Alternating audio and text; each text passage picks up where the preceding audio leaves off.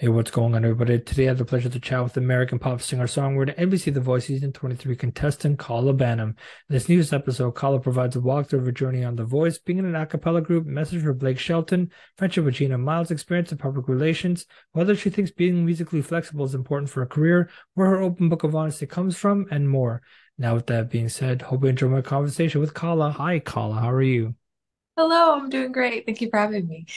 I mean, it's so wonderful to be able to speak to you. I've been trying to get you on this show for the longest time, Oh, um, since the first audition that you made. Um, I mean, there's got to be a lot of things running through your mind. I, I guess the whole thing with the voice related, I guess, but also you've got a lot of things that you've done before the voice, mhm. um, that we have to talk about as well, because I find it interesting. You were, I guess you had a I guess a career in public relations and you kind of got the first hand of like the gist of what entertainment business is like, I guess. So you know basically the inner workings of everything. Uh, let's make that one one thing clear. Kind Um, of a little bit. I mean, um, okay, so uh, I want I want to start off by talking about the um, I guess the voice journey for you. Mhm. Um, it's got to be rather fulfilling, I guess, in the end when you kind of look back on it and you kind of take the time to reflect on what you've learned and what you've taken away from the experience. What what was that journey like on The Voice for you? Yeah, I mean, it was a crazy experience. It it did kind of feel like a full circle sort of moment because this has been a goal of mine for a really, really long time. Um, I actually first auditioned for the show back in 2019, and I had auditioned for every season that had come around since then. So I think in total I auditioned for five seasons, including the one that I ended up getting on. Um, and every single time I would get callbacks and I would go all the way through the audition process, basically up until the point where producers were like inviting people to come out to LA. Um, so I've gotten very, very far every single time. So for me, um, a lot of my journey with the voice started a long time before what you actually see on TV. And I uh, had put in a lot of work to sort of figure out what I, what kind of artist I wanted to be and needed to become in order to be, you know, someone that was worth having on the show. Um, but then obviously actually getting on the show, it kind of uh, took that to a whole other level. You know, it was not only just me auditioning for producers at this point, it was auditioning for the coaches and for America and getting people to want to root for me and um, not only enjoy my journey on the show, but afterwards. And uh, I feel like I had a lot of great takeaways from the show, but the biggest thing was just don't give up because I mean, I took a lot of no's before ever getting onto that voice stage, but then even um, when I was on the voice stage, I proceeded to lose a lot, but I still I still stuck through it and um, managed to make it work. So uh, yeah, I think the biggest thing is that I didn't give up, and I'm hoping to take that lesson away with me for the rest of my life throughout, throughout the rest of this journey.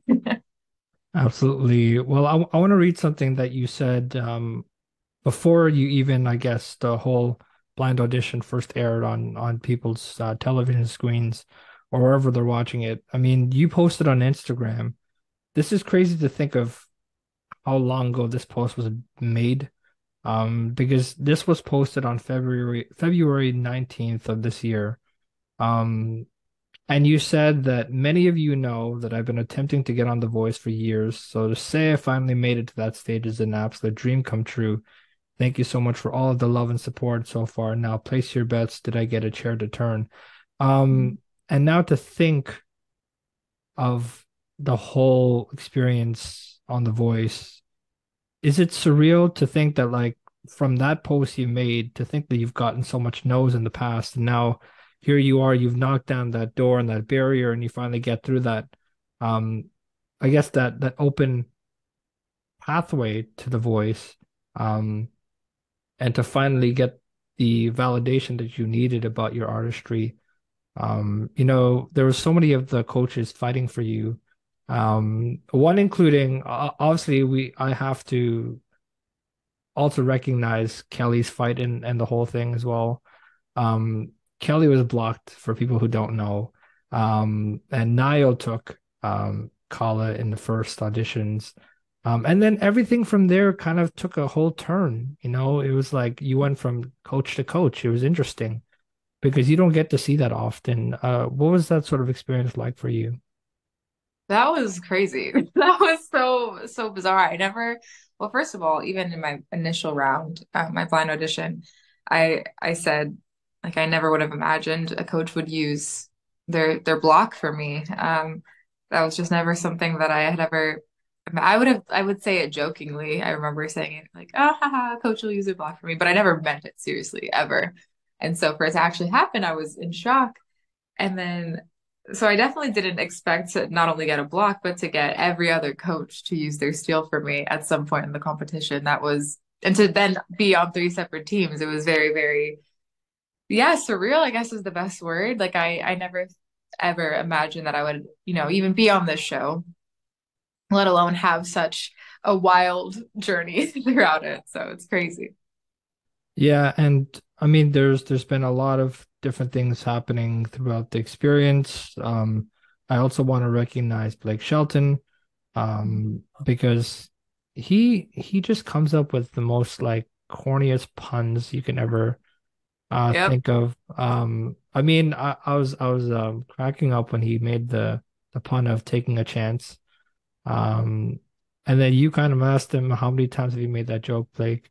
Yeah. Um uh, wh- I mean for people that want who have watched The Voice for a number of years have also recognized that this is Blake's last season on The Voice. Um if there was one message that you would want to give to Blake, um, now that he's departing his journey from The Voice, what would that be? Hmm. Single message. I mean, the first message that comes to mind is don't be mad at me for not choosing to be your last ever contestant on your last ever on your last ever team. But seriously, I would say like thank you for giving the show or being such an integral part of the legacy that this show has, you know, because because without it, like it wouldn't still be going today. So at least my my opinion, I don't think it would still be going today without without what he's done for the show. So thank you for sticking around uh, long enough for me to eventually be on that stage. Well, I mean, um, there's there's been so much things that I think that we can look back on Blake's career and uh, also on The Voice, but I want to talk about your blind audition because I felt the song choice was interesting. Mm. Um, that's not an easy song to sing. It isn't. It it, it is a big song. It, it's it's rangy, it's pitchy. Um, and for people who don't who haven't watched her blind audition, she sang Both Sides Now by Joni Mitchell. That song is an iconic song. Why was that song sort of the I don't know what the word is for it, but why was that song the selection for your start out to kick off your voice career? Yeah, I mean it well, obviously it's it's an iconic song and I I enjoy taking I enjoy taking songs that are well known and sort of putting a different twist on them. That's something that I enjoy doing, um, and something that I see as a viewer that tends has the potential to do well on the show if it's done correctly. Um, and I wanted to do it correctly, but even besides like the technical reasons why I chose it, it was also just kind of a gut feeling thing, as weird as it is to say that. Um, we had to submit our song selections for for the blind audition process. And um, I gave a list of songs, and uh, Both Sides Now was on that list, but uh, it was sort of further down, probably halfway down the list or something like that. And then, uh, and I actually had COVID at the time when I was submitting that song selection. And so I couldn't really sing anything. And so I didn't really know. I just kind of put together the songs and threw it at them and said, okay, well, hopefully something works. Um, and then as I started recovering from COVID and getting better, and I started having a voice again, I could not stop singing both sides now. It just couldn't get out of my head. And it was the only thing I was practicing. And I just had this feeling about it that it was supposed to be my song. And so I, I emailed the music department and said, I'm so sorry that this is so past the deadline, but I really just want to make both sides now my number one choice. And it ended up happening. So I feel very, very lucky that it ended out ended up working out that way. So For sure. And I, I I feel that there are certain songs where people can sing for their blind auditions. Um, but your choice was Both Sides Now by Joni Mitchell, which was very um captivating to say the least, because there, I guess the whole thing with that song is there's also the, I guess the, I guess the climax part of it too, um, where it goes from um the both sides now part in the chorus, I guess, is is where it goes up. Um, and then it's like then it comes back down, then it goes right back up. And that's a song with like such a story in it. Mhm. And I guess like they'll tell tell well, I mean I I, I want to say this as well. I feel a lot of the co competition shows are based off of storytelling. Yeah. Um, because I remember I was talking to this one contestant from another competition show, and I was uh, asking them about, you know, what what do they look for? You know, what do they look for in, in these competition shows? And they're like, well, certain people get declined not because they're not talented, it's because that it's not the message that they're looking for right now. Mhm. Right, like, and there's certain points where they want to look for certain storytellers and a certain story to it. Mhm. Um, for that year. But for you, I guess choosing both sides now, was there any other songs that you could share with us that were on that list before you ultimately chose that song? Um, a song that I had been considering um was Glimpse of Us by Joji, which I've had a couple of people request from me, but um that was that was near the top of my list. And then um I don't remember if a different artist performed it the season before. No, I don't think. I think Bodie ended up doing it, but that was after the blind auditions had happened. But um, I that was one that I enjoyed singing a lot at the time and still love singing a lot right now. And I think also lyrically does a great job of painting a picture story wise. That was the biggest thing for me. You know, it didn't really matter what what genre of music I wanted to tap into. It was more so just can I relate to these lyrics and can I pull a message out of them that not only the coaches but the audience is able to connect with too. So, um, because that was the biggest thing for me is uh I wanted the coaches to be able to feel the story that I was telling because all I have is the voice and and the lyrics. And I said that in my blind audition. So for me, it was very important to to choose a song that um, was really conveying a strong message. For sure. And I, I want to read this quote that Kelly, Niall, and Chance said about your blind audition. Kelly started with, What a perfect song. You showed dynamics. Just seeing you emote like that, you really felt the message and the words mean something to you. We would have been beautiful together. I'm gonna steal you, mark my words. Um, and then Niall, um, who you ended up taking uh, with your first choice. That song choice, first of all, impeccable. You did such a beautiful job on it, so brittle and so tender in the soft moments. And I haven't got a singer like you on my team. You're unbelievable. You've got like such a storytelling voice, so sweet, so beautiful. And the song choices that are available for you is huge.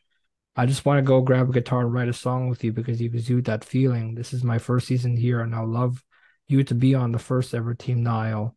Um, and now to hear those back from what I'm saying now to you, hearing those quotes back from those coaches, what did that sort of encouragement mean to you now that like they've basically validated from the get-go that this is what you're meant to do? Yeah, it was still unbelievable, honestly. Like when I hear that quote back, it's crazy to to imagine that those words were said to me, especially with um, you know, the praise for the song choice because I was nervous about it. Like I I was really excited and it was my number one song choice, but as soon as I saw that that was the song that I was given, I was like, "Oh my gosh, now if they hate the song choice, I have no one to blame but myself."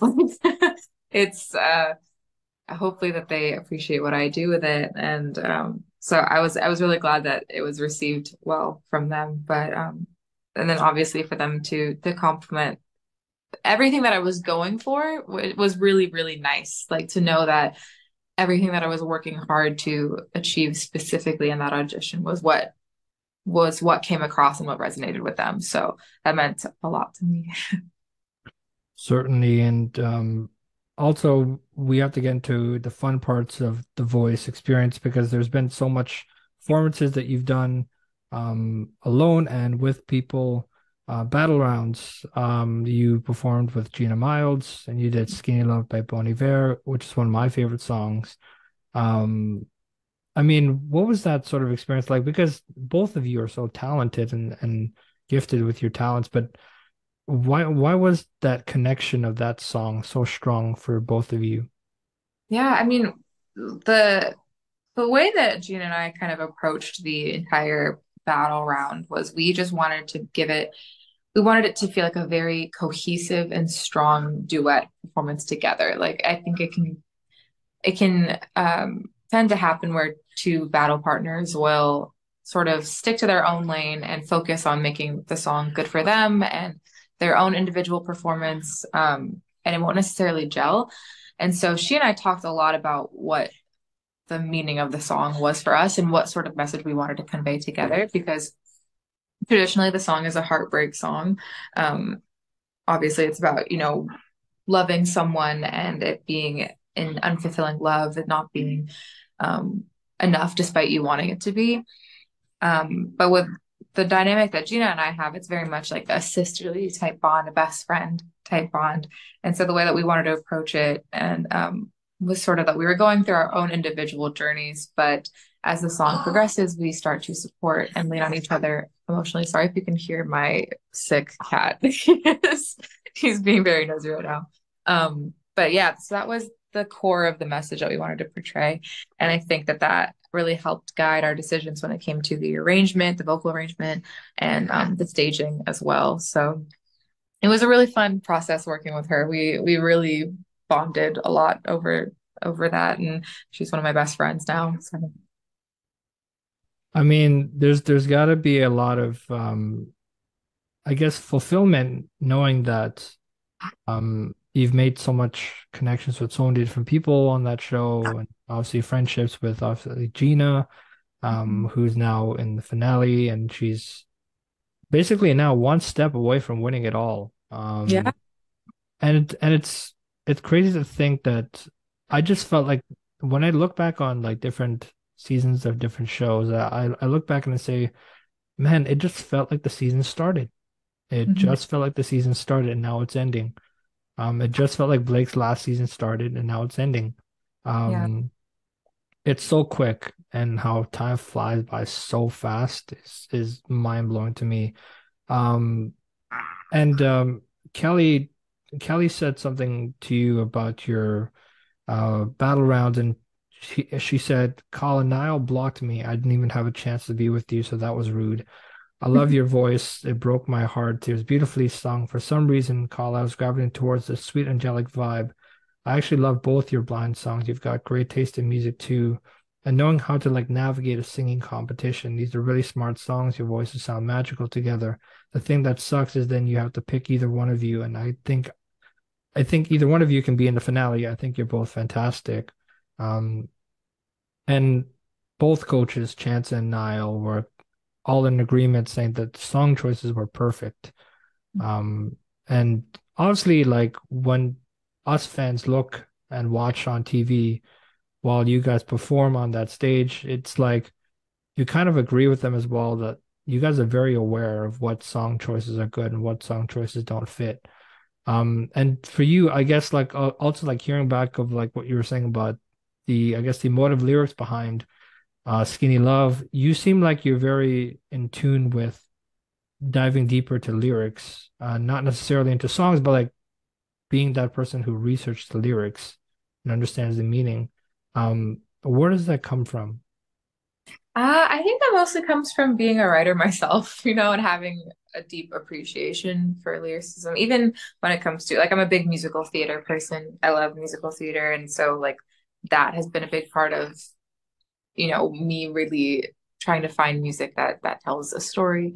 Um but yeah i think that the biggest thing is that i in my own music and i'm really intentional about every word that i choose to incorporate in my songs. So um of course I, and i also know that that's how you tell a cohesive message you know when you're singing on stage. Um it's it's hard to make someone feel something if you don't know what it is that they should be feeling you know? So i think that that's that was one of the first things that we really decided to to talk about was like okay so what does this song actually mean to us? And how are we going to convey that to people who are listening?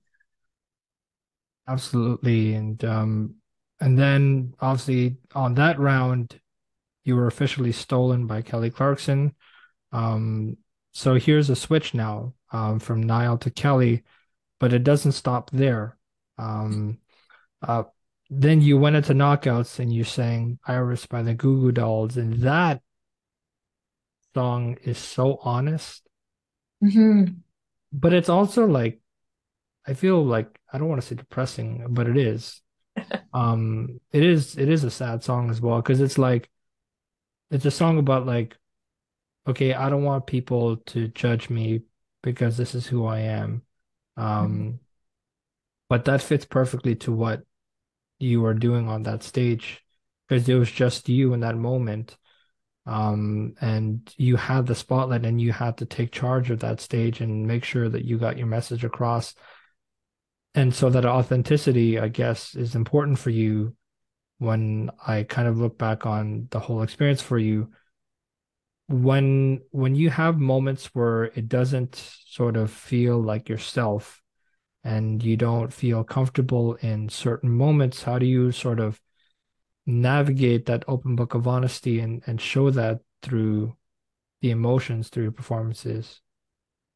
I mean that's a hard question. I think for me it's mostly just trying to forget that i'm singing to a lot of people i think for me the most important thing is sort of abandoning all of the thought of like okay well I'm scared about what all these people might think. I'm scared of what the coaches might think and just sort of embrace it as like I'm singing this song for myself at this point. Like I'm I'm singing it the way that I want to and in a way that makes me feel connected. And that can be really challenging. That can be very, very difficult to to throw all that away because it's something that I worry about. But it it, it goes hand in hand with the message of the song, you know, like um and I don't want the world to see me. Um I just want you to know who I am. Like it's it's a very beautifully written song, which is the reason I was excited about doing it. Um, but for me, it's just sort of a, a reflection of this whole journey. Like it's something that I want so badly, even though it is terrifying to know that a lot of people aren't going to love me or appreciate it. So um, that was a really exciting song choice for me in particular. Mm-hmm. And um, I also want to talk about the playoff round that you performed "My Funny Valentine" by Ella Fitzgerald. Mm-hmm. That's a song that like you could feel a pin drop. I feel, um, in in certain moments as well in that song. Um, I, I well, I I don't think I've heard "My Funny Valentine" by Ella Fitzgerald's version, but I've heard Frank Sinatra's version. Mm-hmm. Um, but it's still a really great song. Um, it's interesting that you chose so many different categories of songs. Mm-hmm. It wasn't just like the Drop Dead Gorgeous, like both sides now by Joni Mitchell type music, but it's like you went from Joni Mitchell, then you went to Iris Goo Goo Dolls, and then you went to jazz, and you did that song by Ella Fitzgerald. There just seems to be like an awareness for you that um, I don't want people to see me as like this type of artist. Mm-hmm. You know, it was like here's here's what I'm offering. I'm offering you different sides of my artistry. I'm not like just one singular thing. Um, is that like an importance for you to show people not only I think in, on the voice, but like in, in music business in general to show that like you've got the flexibility to do different things, not just a whole one singular thing. Definitely. I mean, that's been a something kind of in my life that I've stressed out about, not only when it comes to what lane I'm in regarding my music, but just in life in general. I have a lot of different interests in things. And for the longest time, I was stressed about like, how am I going to pick one thing? How am I going to be able to do just one thing for the rest of my life when I have all these different things that I love and take inspiration from? And then I kind of just realized, and this this experience actually helped me realize that is I don't have to pick just one thing. You know, I can I can do a lot of different things in life. And when it comes to music, I mean, I've been influenced by so many different genres and types of music my entire life. I mean, I started singing a lot of sort of, you know, singer-songwriter stuff when I was really young, but then had this love for musical theater my entire life. And then I, you know, joined orchestra when I was in sixth grade, and then I sang in the jazz band, and then I led worship in church, and then I did collegiate a cappella. So there's a lot of different things that have influenced me over the course of my 24 years of existence. And it didn't, I don't think it would have felt right if I just chose one specific genre of music and decided to make my brand on the show all about that because that's not the performer that I am. And I know that that comes with a risk as well. It might be a little bit harder for people to identify what kind of artist I am, which might make it a little bit harder for people to connect with me. But at the same time, I think that if people are fans of me, then they'll recognize that I'm making all of these songs my own in my own way. And I think that I think that that came across to a lot of people. At least I'm hoping so. So. Well, it surely did, and um, obviously there's there's there's so much great contestants remaining in in, in the show, and um, now it's up to you, America. Now it's up to you. Uh, you hold the fate of these uh, last remaining contestants, so you better do your job and um, vote for your favorites uh, to win. It's um, it's going to be a close one. Uh, it's going to be a very close one. I, I, I think this one is going to come right down to the wire, and I don't know. For me, like there's so much things that I I don't want to say who the winner is going to be. Um, I, I've I've I've battled between Gina and Grace, and mm. um, I've loved country music, and the thing with Grace is that like she just comes in there with like okay, here I am, a girl from Michigan who's doing country music. And it's very rare to see someone do country music in Michigan because it's usually from Nashville or Texas or somewhere in the South. But I think that like Grace has something that um you don't find often. Like she just comes there and sings traditional country music like it's nothing. Mm-hmm. You know, like she just comes there, she's like, Well, I'm just doing my business. Uh, don't mind me. I'm just I'm just here performing, doing what I love. Um, and same with Gina. I, I, Gina's way beyond her years. When I see her perform, and I'm like, she's how old?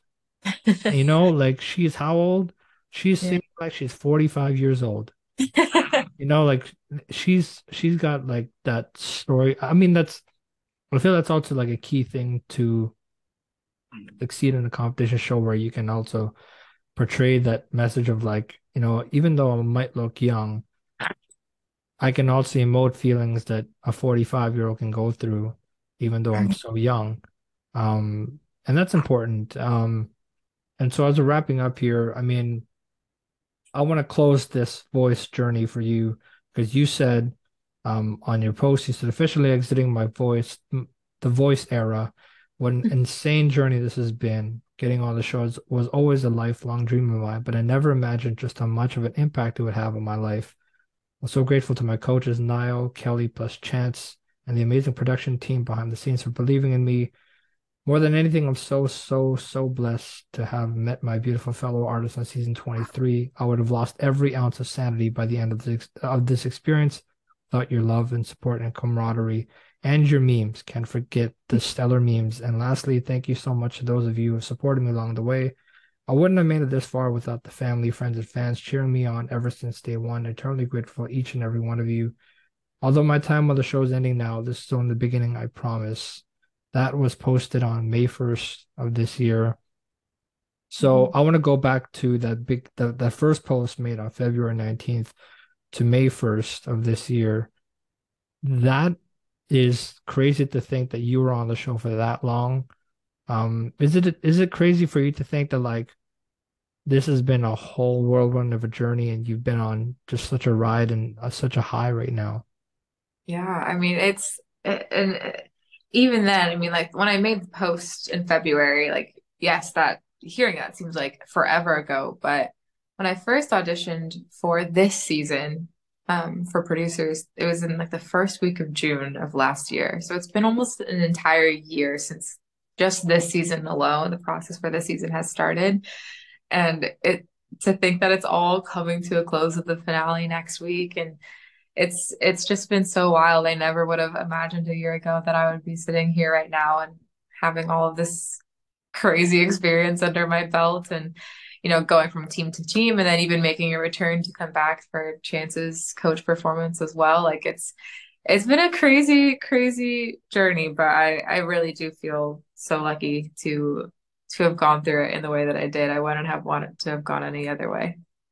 Absolutely. And um, before we wrap this thing up, um, I want to quickly touch on the um, acapella experience for you.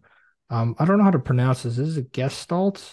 Gestalt. Uh, okay. So talk to me about the experience briefly, and then I want to talk about also briefly about the public relation experience for you as well. Mm-hmm. So I went to the University of Florida from 2017 through 2021. And all four of those years, I was in Gestalt Acapella, which is a co-ed collegiate acapella group um, that's specifically focused on competition. So we wouldn't really perform all that much around campus. We would mostly work very intensely on um, maybe like 10 to 12 minute sets of music that were to be used in competition um, around the country. And uh, I feel like I learned so much about myself as a singer and uh, as a musician throughout that process because I was I was surrounded by other singers um, multiple days a week for hours. um, it was it was really really cool and it helped I think build up my confidence as well. I would not have been oh man, I can't even imagine my how I would have done on The Voice if it weren't for that experience. It really really helped shape me into the person that I am today. So um, it was cool. I started out as, you know, just a regular member and then I became their director of communications. So I ran their social media and things like that for a couple of years. And then my senior year, I was their director of music. So I was making those calls when it came to song selection. I was arranging some of the uh, vocal arrangements for our performances. So um, yeah, it was a lot of fun. I'm really glad that I did it. We took it very seriously, which is kind of funny looking back, but um, it was it was a really good time. Absolutely. And um, you've also, you're no stranger to the business, um, the entertainment business. Um, talk to me about the experience of public relations for you and how that came about for you. Yeah, well, I mean, I've been, I mean, I've always loved school um, and, you know, excelling in class and things like that. But I mean, I always loved music too, but I kind of knew that I was never going to get a college education in something music related for some reason. I kind of always thought that if I was going to get a, a, degree, it would be in something other than that. I think mostly because I knew that in order to succeed in music, you didn't need to have a degree. Like it's possible to do well. I mean, obviously it helps, but it's possible to do well without it as well. And so I wanted to, if I was going to go to college, I was going to make sure to get a degree in something else. And everything sort of just pointed me in this direction of PR. I was, you know, became the director of communications for my acapella group. I was the social media manager at the Boba Tea Cafe that I worked at. Um, I was a brand ambassador for, you know, a, um, a college music program. A lot of different sort of things were just sort of pointing me in that direction. Um, and then before my journey on The Voice, I was working for a public relations agency where I was specifically working with clients in music tech. So, um, if you're familiar with the company Roland, who does a lot of makes a lot of instruments, they were one of the clients that I worked with. Um, Epidemic Sound, their royalty-free music platform. There are a couple of different ones that I worked with, but it was mostly like music tech clients, not necessarily individuals. But um, it was very cool to sort of uh, be able to blend my interests in public relations with my interest in music as well. So um, if it, if this music thing doesn't work out, I would be more than happy to continue down that route as well. But I think for the time being, I would love to, you know, focus on establishing and building up this platform that I have right now and seeing what sort of thing I can do with with, you know, my own music journey before I go diving back into the PR world. Absolutely. And and you know, I've I've heard people say that like it's important that um that you have a plan B, but also people who don't go in with a plan B who just say my plan A and my only plan is to be a musician. Um, I have nothing else. This is my whole life. I want to do this. Um, so I want to wrap up by asking you, um, if there was one person that is already in heaven that you would want to play a song with, who would that person be? What song would you play? Oh my gosh. What song would I play? I don't know. That's a really hard question. um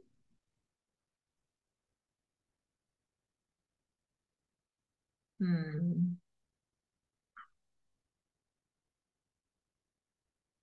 I actually don't know. I mean, I don't know why I'm having such a hard time with this. I'm trying to think of like anyone specific that's already in heaven. Hmm.